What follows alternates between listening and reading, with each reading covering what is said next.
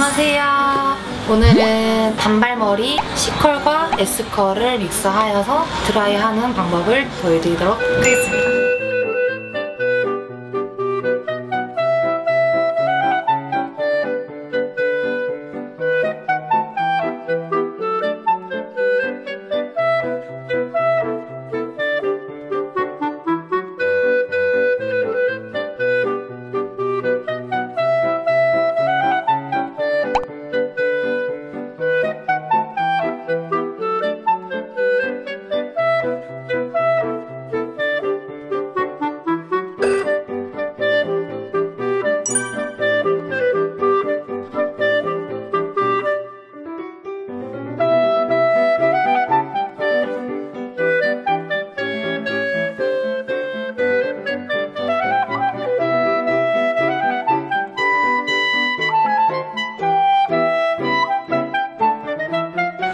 한국인들은 여기가 다 꺼져 있어요.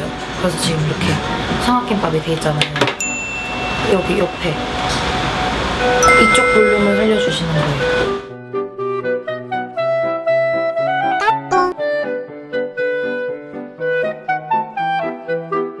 볼륨이 살아요. 이렇게 옆에서 봐도 여기랑 좀 다른 점 보이시죠?